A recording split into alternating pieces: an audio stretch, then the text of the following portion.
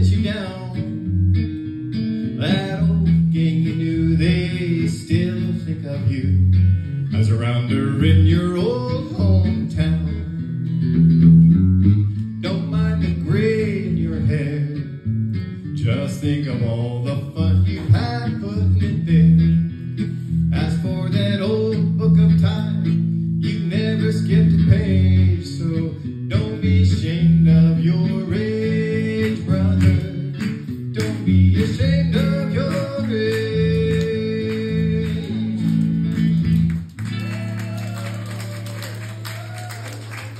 Thank you.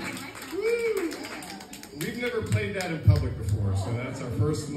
It's always a little scary. You never quite know what's going to go off the rails, you know what I mean? Anyway, thanks for enjoying that.